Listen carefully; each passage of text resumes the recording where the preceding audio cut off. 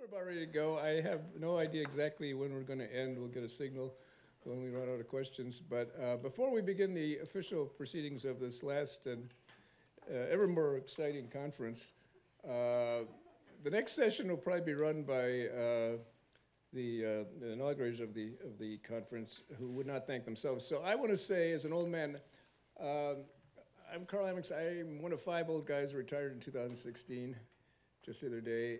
And we made way for this great nouvelle vague of uh, you know, new faculty at Notre Dame. And uh, some of them are here, Therese, and then uh, came. And I think uh, before we even hear from them later or have our, our last uh, regular talk, we should thank them for organizing the whole series very heartily. We couldn't have done it without you, and uh, I, for one, have enjoyed every session. And I can't wait to hear about Heidegger and being, and we have a real expert here, so Mark will give us the last word in the regular session, please.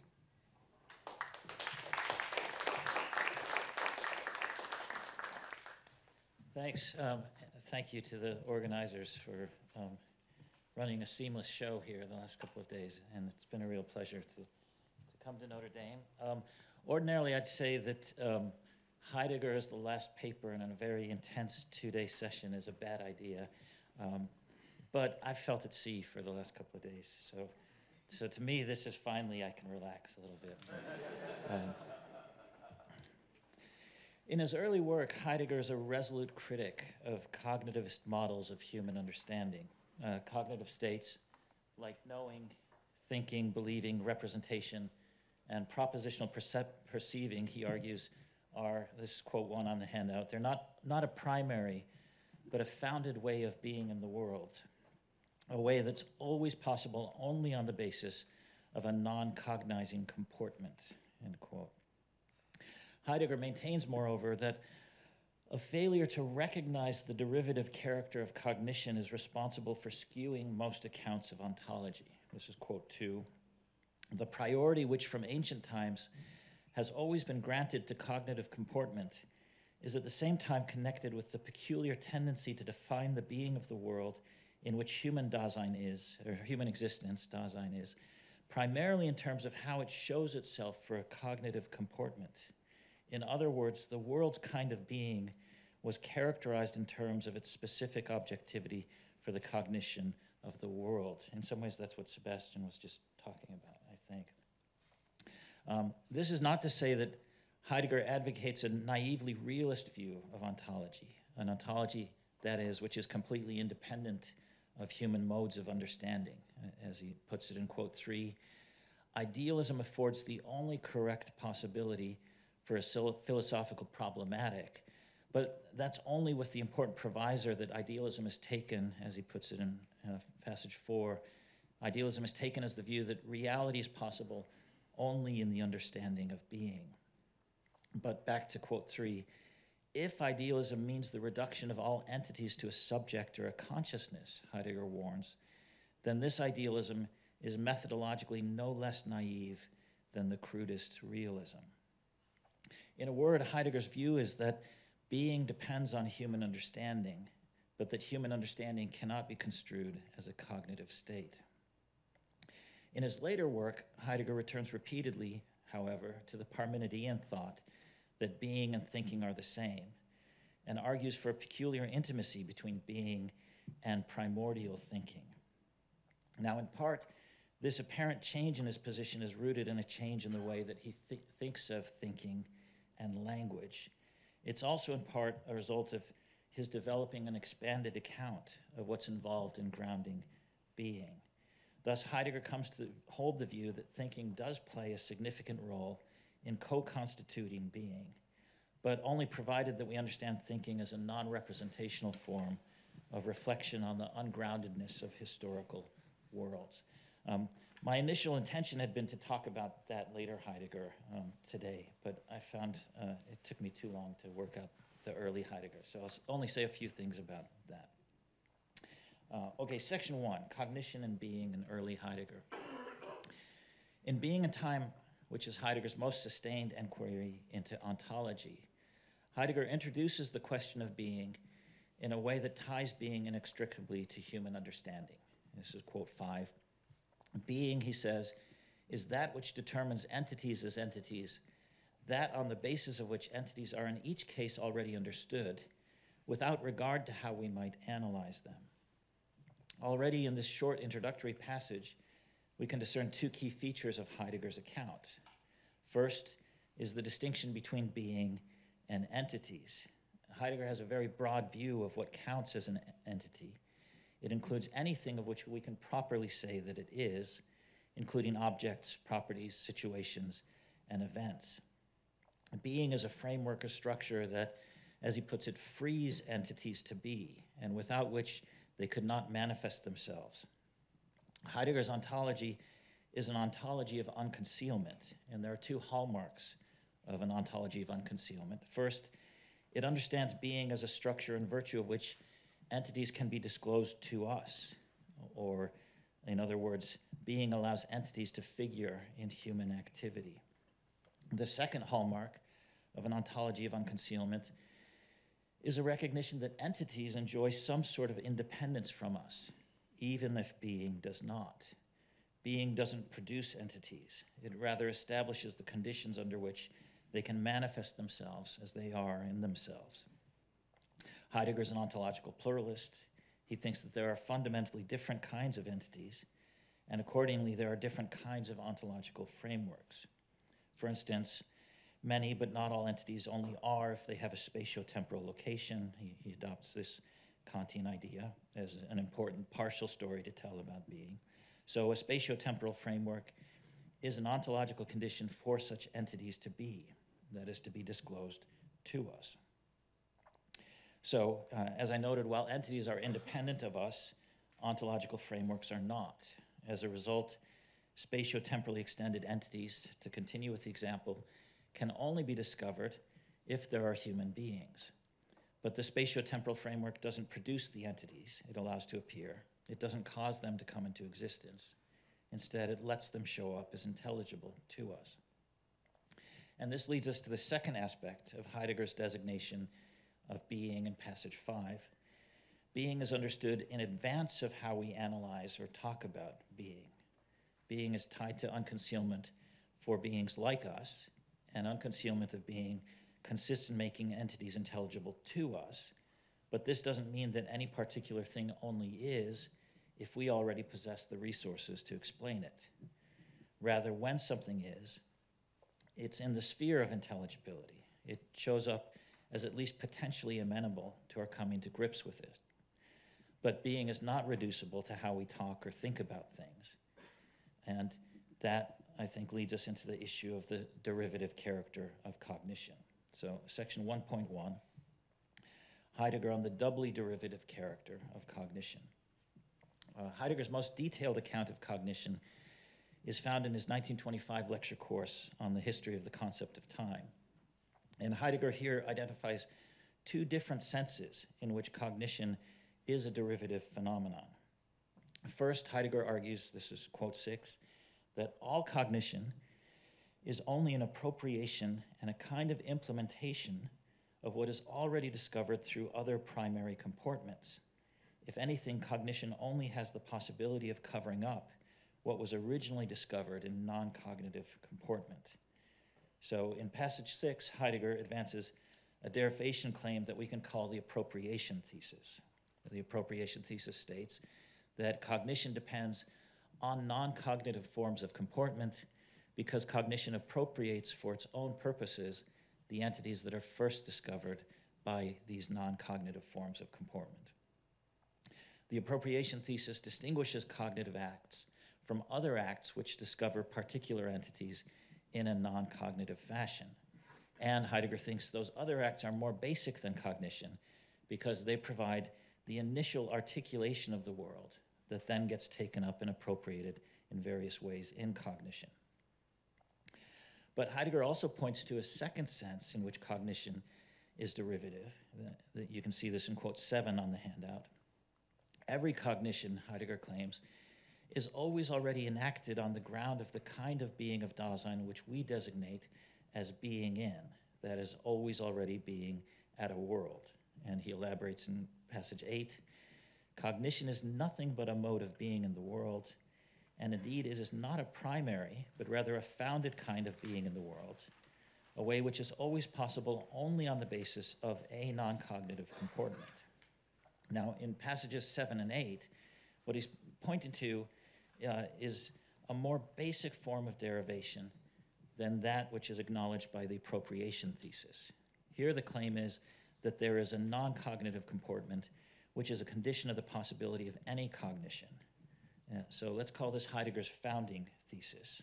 According to the founding thesis, all cognitive acts are founded in a basic background state of always already being in a world.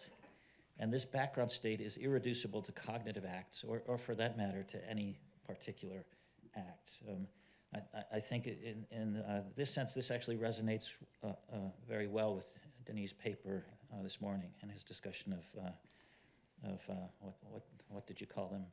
Hy- hypercognitions or something like that.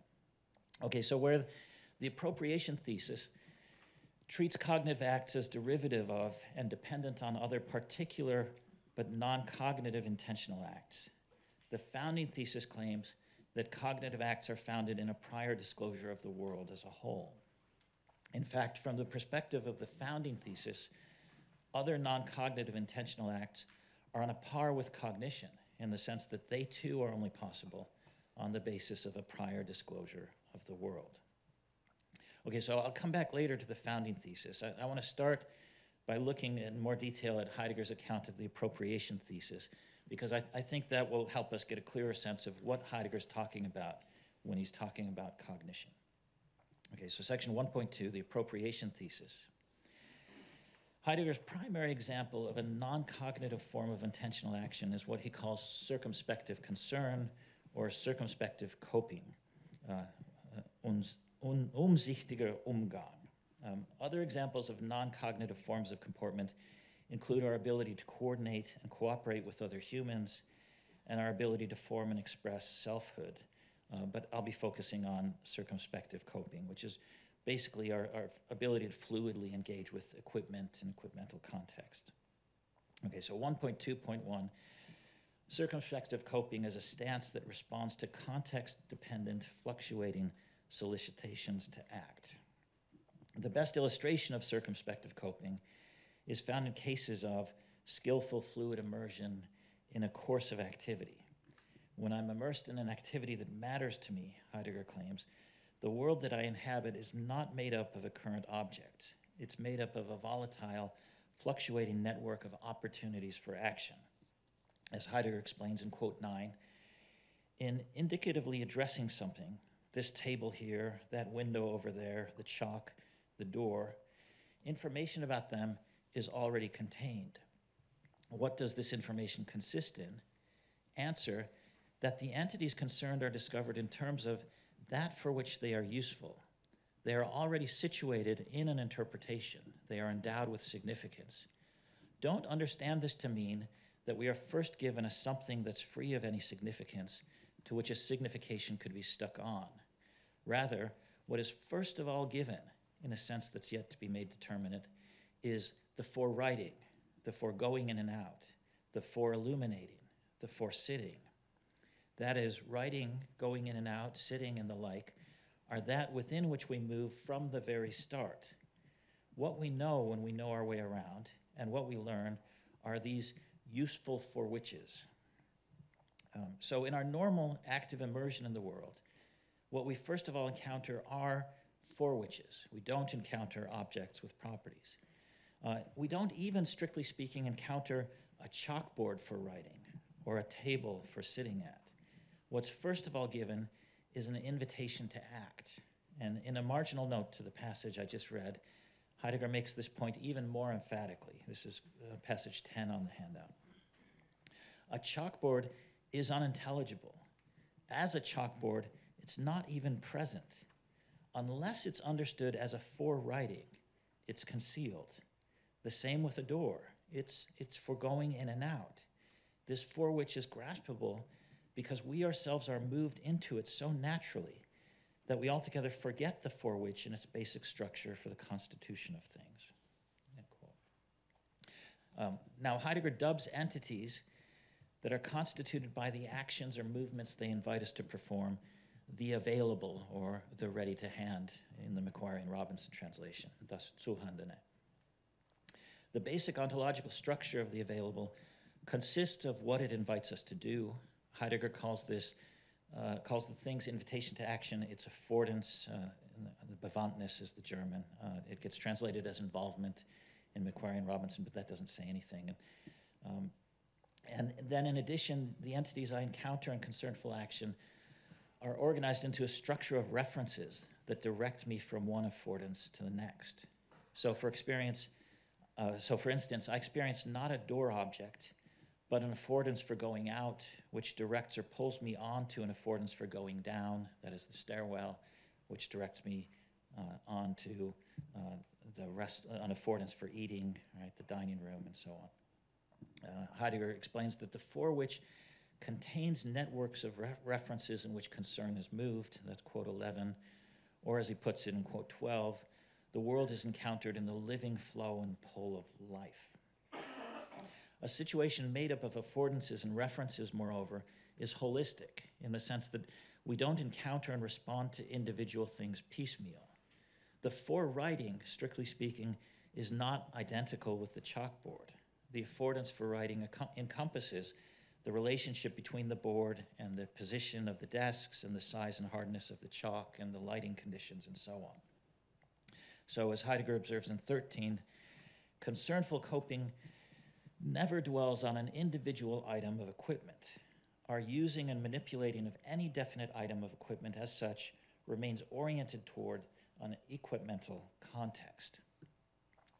And that's why Heidegger calls the sight that discloses our everyday world circumspection, Umsicht, uh, literally constantly looking around, taking in a whole network of affordances and discovering solicitations to act in response to the invitations to act that I encounter.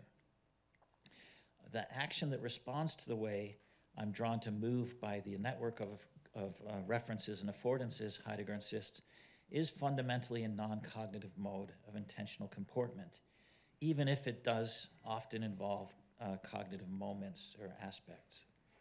Now, to see why, let's turn squarely to Heidegger's account of cognition. This is 1.2.2. Cognition is a stance that thematizes, fixes on objects, and makes determinate a content that's abstractable. Cognition, Heidegger argues, involves a fundamental stance on the world that interrupts the fluid, skillful response to the contexts of affordances that we've just described. Heidegger offers a phenomenological description of what it's like to enter into a cognitive relation to the things around us. And on this phenomenological account, cognition has a, what he calls a tiered structure. We move from circumspective coping to full-blown cognition in a series of steps, steps that take us from a, a less to a more fully cognitive structuring of experiences. He identifies five stages on this scale, which I've set out in uh, section 14 of the handout. Uh, first, the lowest grade of cognition is focusing on or fixing on something in particular, where fluid action is guided by a constant scanning or looking around, uh, sich umsehen, cognition is guided by a looking at, uh, hinsehen, whereas circumspective coping is a fluid response to an unfolding situation as it's moved smoothly from one affordance to the next, cognition gets arrested on a discrete fe feature of that situation. Rather than allowing itself to respond, cognition is a directing oneself, a specific comportment of taking up a direction towards something. Grade two involves lingering with that on which Dasein is now focused, where circumspective coping is constantly moving, it never dwells with any individual item of equipment, Heidegger says, but is guided from one reference to the next. Cognition stays with the discrete feature that it's picked out.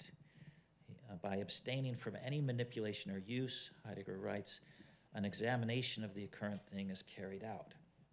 At stage three, this examination or interrogation of the object disjoins it, isolating it and teasing it apart from the context in which it appears at the fourth grade of cognition, uh, we get involved in developing the stage three cognition in such a way that a content can be extracted from the feature that's fixed on, lingered over, and isolated.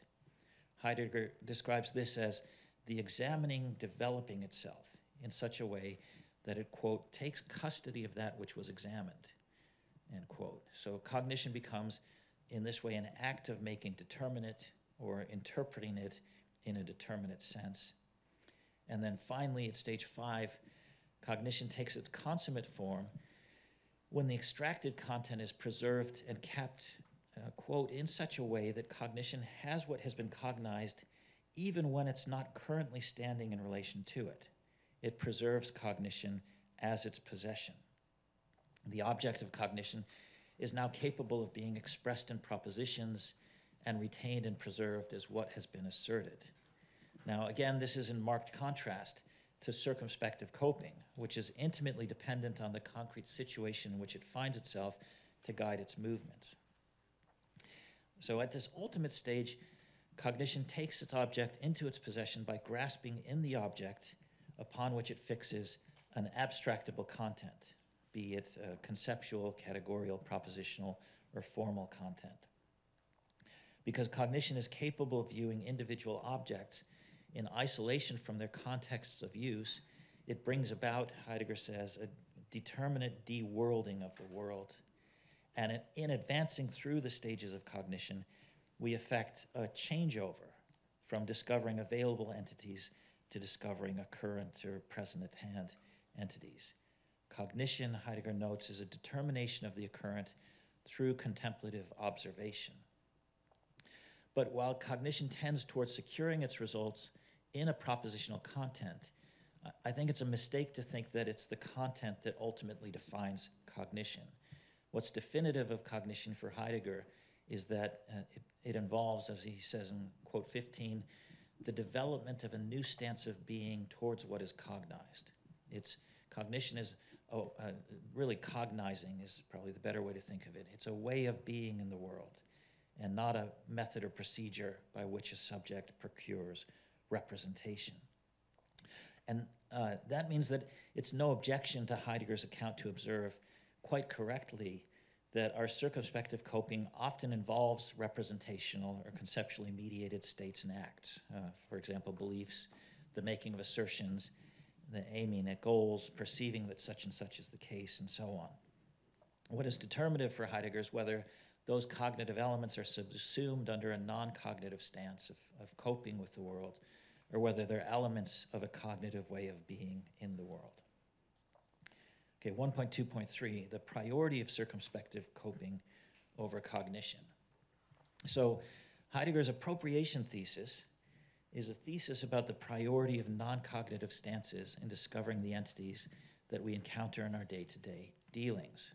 According to the appropriation thesis, when a cognizing subject fixes on current entities, what she first of all fixes on are aspects of the world that are relevant to our circumspective coping and this is quote 16.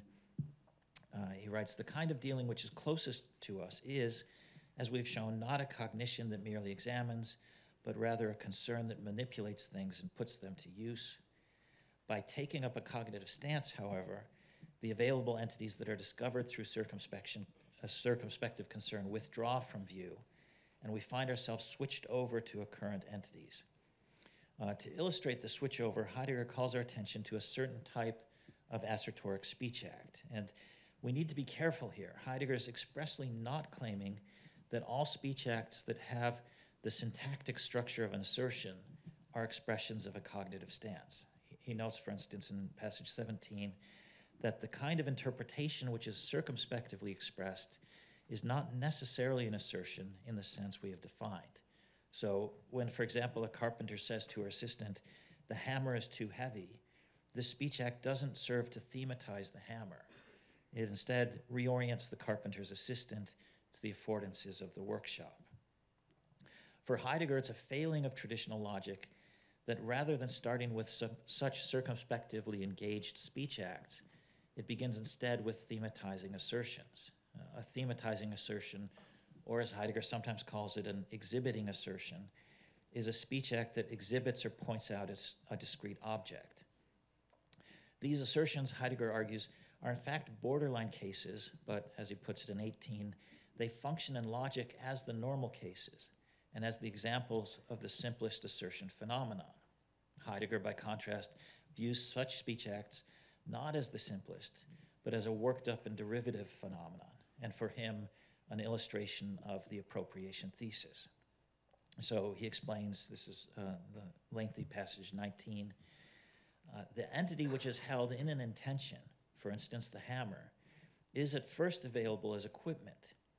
If this entity becomes the object of an assertion, then, and, and this is, I think, the important line here, then as soon as we begin to make an assertion of this type, there is an advance, a changeover in the intention, right? So it's not the assertion that makes the changeover. It's, it's the changeover in the intention that allows the assertion to function in the way that it does. So something available with which we have to do something turns into something about which one makes an exhibiting assertion. Our focus is aimed at something current in what is available, both by taking up this perspective and for this perspective, the available thing is, as an available thing, is veiled within this discovering of occurrentness, which simultaneously is a concealing of availableness. The occurrent thing that we encounter is determined in its currently being in such and such a manner. Only now does access to something like properties open up.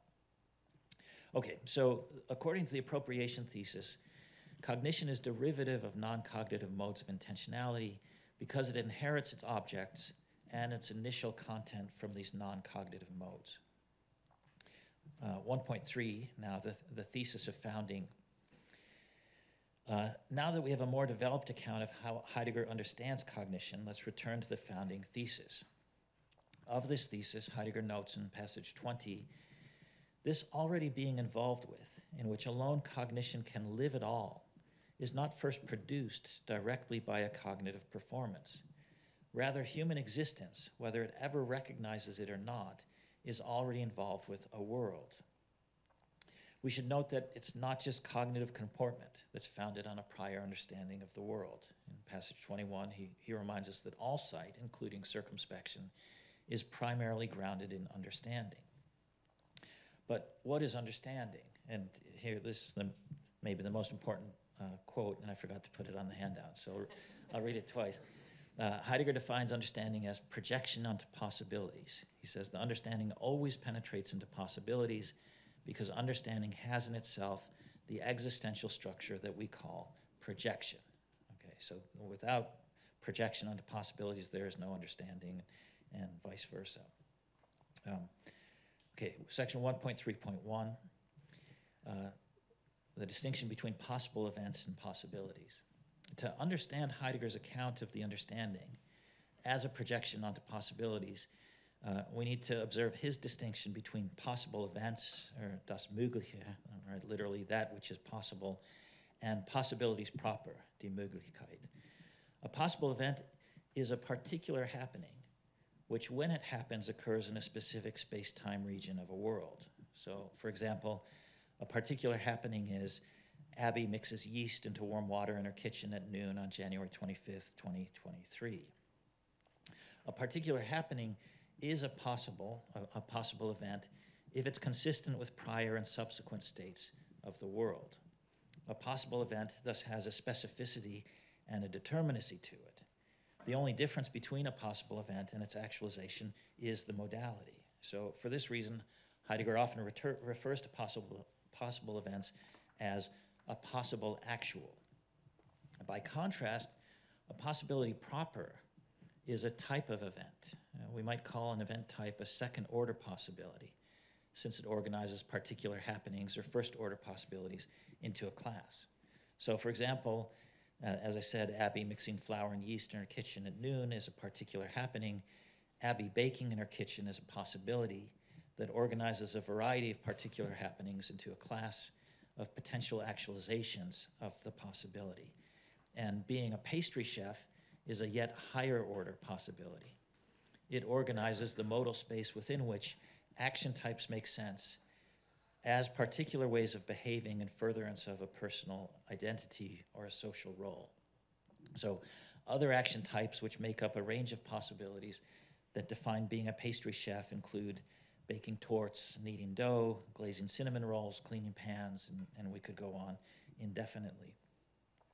When Heidegger talks about human possibility, he usually has in mind a higher order possibility, a, a possibility of engaging in a type of comportment.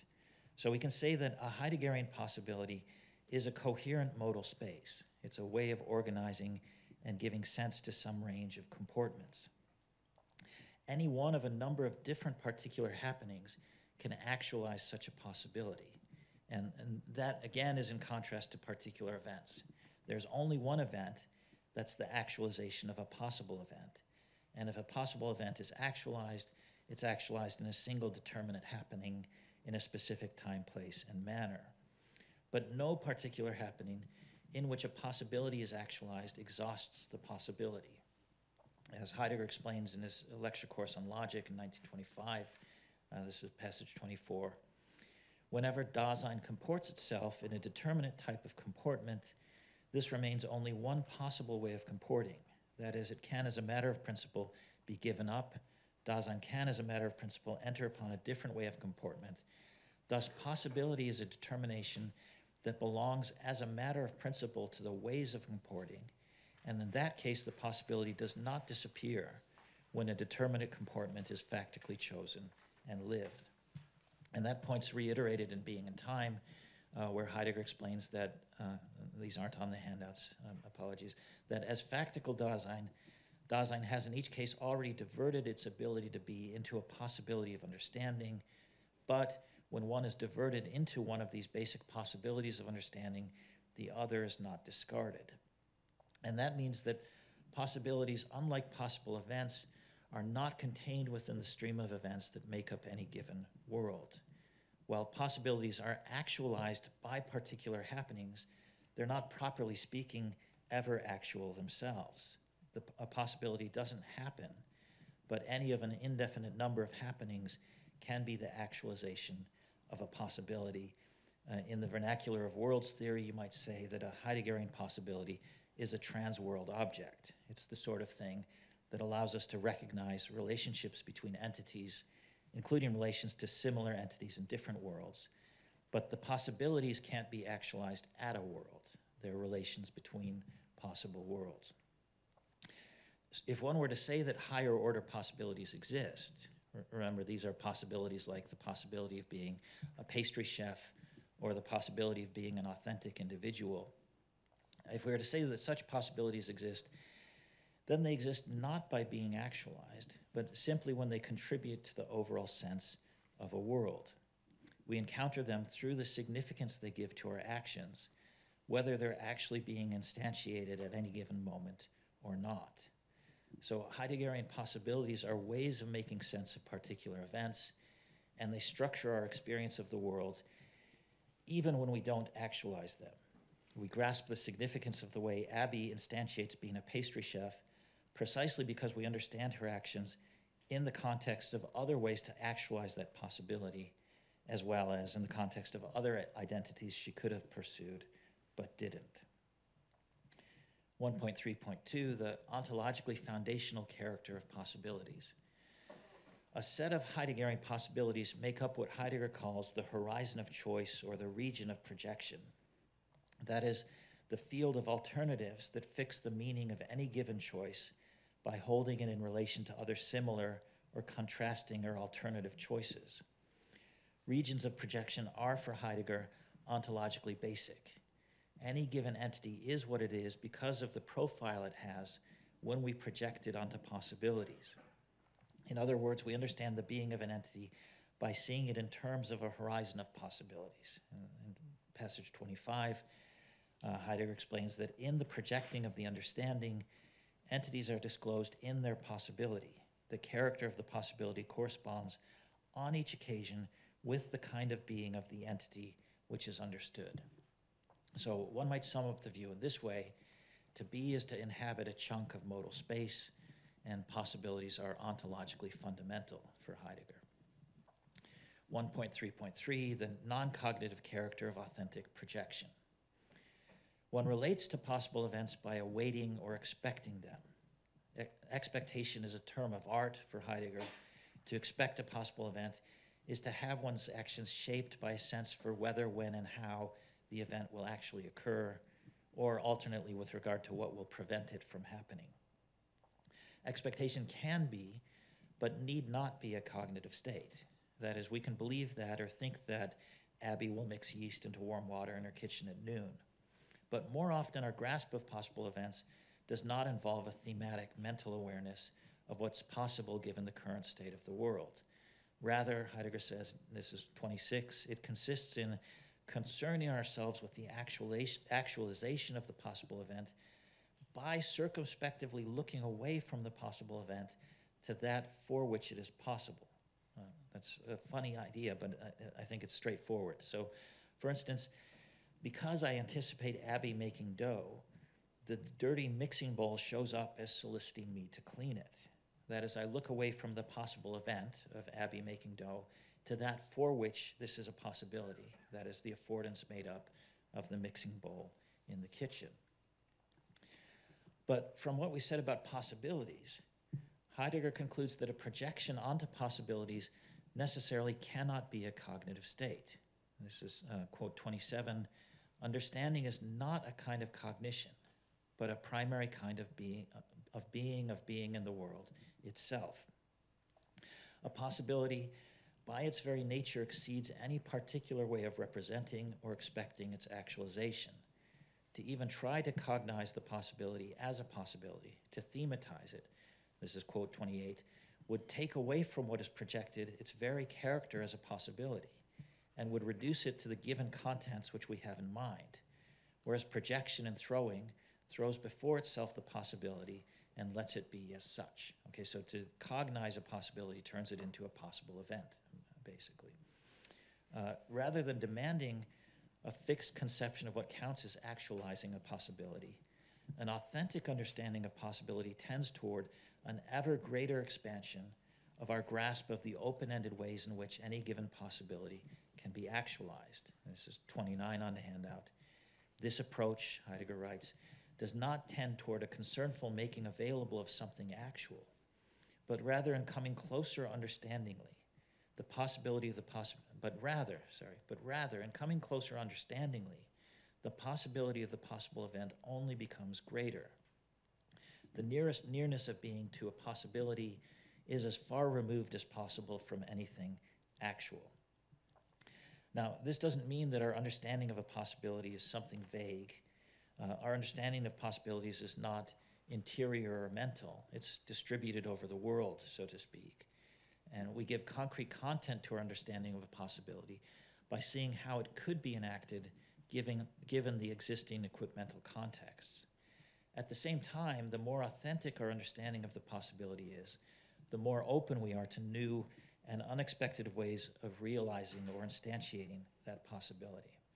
Uh, I think the phenomenon Heidegger has in mind when he's talking about this expansive way of projecting possibilities is something like what Kierkegaard had in mind when he posed the question in all of Christendom, are there any Christians? And, and I think Jonathan Lear's book, A Case for Irony, is a, a brilliant working out of the same uh, phenomenon or intuition. So uh, Kierkegaard, in asking whether in all of Christendom there are any Christians, was alluding to an experience in which we discover that no amount of compliance with established norms and social expectations will realize what it really means to be a Christian.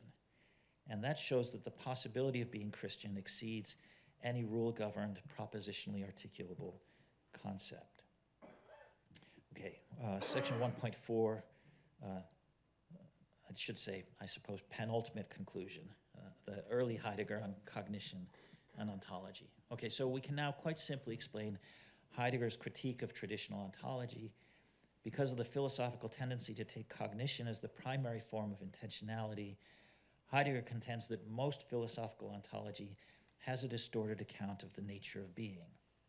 When in a cognitive stance, one quite naturally takes the world to have the specific type of ontological structure that's needed to sustain cognition, but this is precisely to miss or obscure the ontological structures that are opened up through non cognitive modes of comportment. This means, for one thing, that philosophical ontologies tend to miss the kind of being characteristic of the available, right, of affordances, but it also misses the phenomenon of world disclosure, which is a particular style of opening up the possibilities that are determinative of the being of entities. And then let me just finish uh, with a postscript on what I should have talked about but didn't get around to. So uh, I'll call this postscript Three Tasks for Thinking in Later Heidegger. Uh, as Heidegger comes to focus in his later works on the dynamics of world disclosure, he revisits the role that thinking can play in opening up a world. One way to understand the difference between historical epochs or worlds is to attend to the dis- distinct regions of possibilities that each world projects into.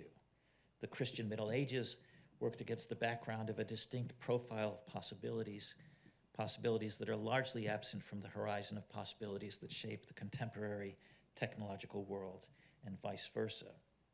The clearing that shapes a historical world is a clearing because it withholds some possibilities while permitting others. In Heidegger's later work, he gives three main tasks to thinking. First, thinking's able to release us from being swept along in our normal course of activity, in which we unthinkingly operate on the basis of the prevailing understanding of being. This is thinking as Gelassenheit. Second, thinking allows us to attend to the historical ontological style that governs our age, to which style we are ordinarily oblivious. That's thinking as Besinnung in Heidegger's terminology. And then finally, thinking can guide us into new forms of responding to the world, thereby fostering new habits and preparing the way to a new style of opening up, opening up the world. Thinking, Heidegger says uh, in his later works, founds the preliminary exercise for dwelling. It founds the first habit that starts a change in the way we open up an understanding of being. Thank you.